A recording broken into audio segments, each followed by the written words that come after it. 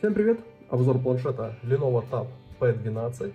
А, это планшет стоимостью примерно 450 долларов, то есть такой недешевый, а, поверху средней ценовой категории планшет с своими особенностями. У него огромный 12,7 дюйма а, дисплей и 3К разрешение 2944 на 1840 разрешение этого дисплея. Это одно из лучших разрешений, которые я вообще да, встречал в гаджетах в планшетах, ну, по крайней мере, которые у меня были на обзоре, планшетах и смартфонах. Перед тем, как приступим к распаковке данного планшета, призываю подписываться на Boosty или Patreon канала. Этим вы очень сильно поможете развитию канала, поддержите канал и получите доступ к отдельным материалам, которые будут выходить только там. Ну что ж, давайте к распаковке. Переходим. Открываем огромную коробку. Вот максимально отдалил камеру, чтобы все это помещалось и было видно. Просто огромнейший планшет, прям как ноутбук 12,7 дюйма, то есть стандартные, э, ну да, почти как экран ноутбука, то есть у ноутбука там 15 дюймов, по-моему, они будут. Чуть-чуть больше, это как стандартные ноутбуки, а такие чуть компактнее, ну как этот планшет будут экраны. Дальше, в комплектации документация Lenovo Tab э, и Lenovo Tab Pen Plus, то есть стилус, который будет идти в комплектации. Дальше скрепка для слота, а, но это слот только для SD карточки. Тут он, эта версия получается у нас самая дешевая на 8256. По сути небольшой объем э, встроенной памяти и это только Wi-Fi версия. И за 450 долларов. Так это э, для стилуса носик. Дальше нет ничего. Ну, давайте сейчас аккуратненько извлечем этот стилус и смотрим на остальную комплектацию. Тут у нас адаптер для зарядки, 20 ватт адаптер и кабель USB на Type-C.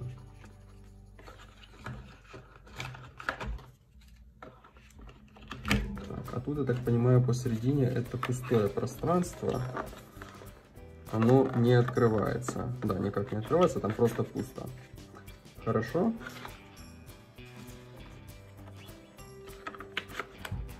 Все это теперь в сторону. И достанем планшет, посмотрим на внешний вид а, планшета. Как-то аккуратненько. Прям огромный-огромный планшет. Самый большой, который точно был на обзоре. Слева динамики. Вот этот слот. Кнопка включения. Сверху кнопки регулировки громкости вот тут. Вот. Тут еще динамики Type-C порт. Снизу коннектор для док-станции. Сзади металлический и пластиковый корпус. Тут э, нет, это цельно-металлический корпус. Э, пластиковых вставок я тут вообще не вижу. Он цельно-металлический. Ну, классно выглядит планшет. Блок камеры, э, вспышка. Камера тут 13 мегапикселей, то есть э, самая обычная. И гравировочка Lenovo. Вот, ну, классный цвет. Sound by JBL, Dolby Atoms, все звуковые технологии тут есть, ну, чуть позже включим и посмотрим, послушаем, как э, звучат динамики. Так, и пока достанем э, стилус. Так, он не работает. Так, выполняем подключение э, Lenovo. Завершить. Все, подключен. Будьте готовы к наплыву вдохновения. Все работает. А, в общем, у него есть зарядка, его нужно через Type-C отдельно а, заряжать. Как вы его достанете, нужно зажать кнопку включения на 8 секунд и связать с планшетом. Все, и теперь он работает. Ну, в общем, огромнейший экран планшета, я уже сюда поустанавливал бенчмарки из предустановленных программ из необычного. Конечно же, есть детский режим и отдельные детские вариации программ. Есть э, это леновская э, как бы контроль за планшетом. Вот математика. То есть для расчетов тут можно что-то и поумнее, да, там записывать.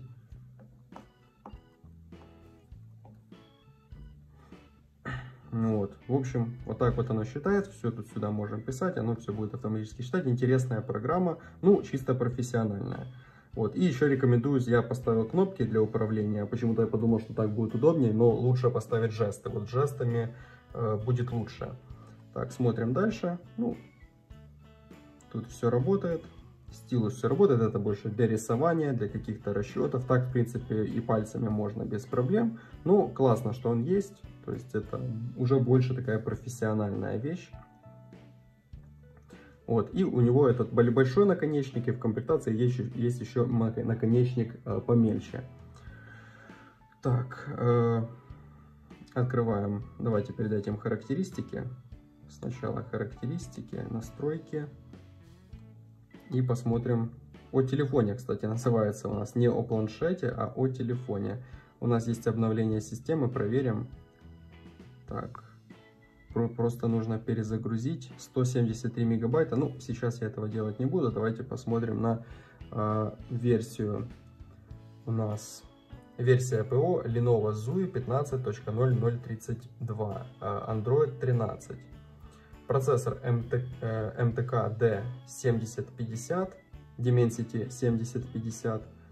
Вот. А по видеоускорителю давайте смотреть что у нас тут? Ну, в общем, крутое железо, вообще очень крутой планшет, очень крутой экран э, с огромным да, разрешением, огромным, огромной диагональю. В принципе, да, все есть для профессиональной работы. То есть это такой профессиональный планшет. И идем дальше. Да, переходим в Antutu Benchmark. Очень хорошая цифра в Antutu, особенно как для планшета. 527 тысяч. Очень хороший результат. Так, Mali J68 MC4 видеоускоритель, NT 8791V.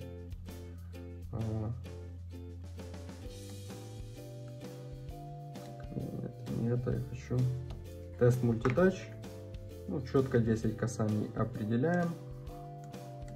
И закрываем этот тест.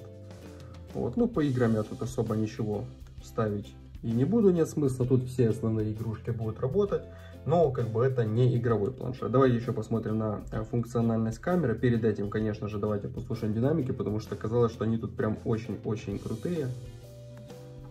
Так, ну, это я пальцами будет удобнее набирать. Музыка без авторских прав. Послушаем стерео динамики. Тут и JBL, и Dolby, и что хочешь.